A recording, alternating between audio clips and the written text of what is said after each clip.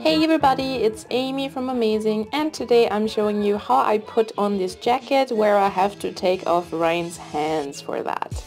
Um, so, first of all I'm taking off this jacket that he's wearing right now. I'm going to use a chopstick and I'm going to pull apart his string and then I use, I actually put the chopstick in my teeth and then I push it through the, the elastic. And then I can take off the hand I pull the chopstick uh, close to his arm and then I can put on the jacket.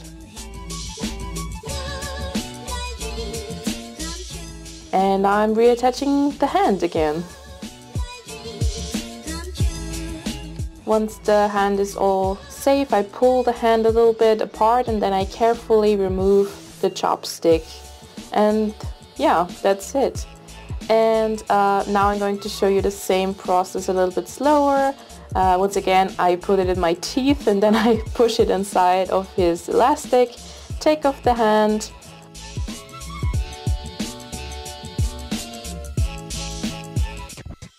For the second hand I always uh, put it backwards, That's, that way it's a lot easier And now I'm going to show you a bit closer how I put his hand back on. I'm sorry, my finger is sort of in the way. It's a really weird angle to film this, but I hope you can sort of guess how this all works.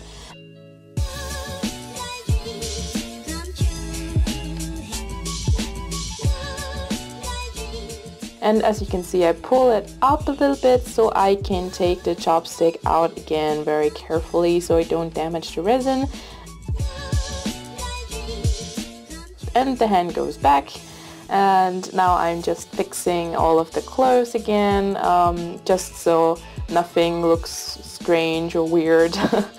uh, yeah, his wig fell off here but I put it back on. And um, yeah, I'm just pulling out the sleeves from the shirt that he's wearing underneath so it doesn't uh, look weird all clumped up underneath the jacket and then I button up the jacket. Um, yeah, you always want to open those buttons obviously when you put on uh, the clothes and do that and, and button them up later.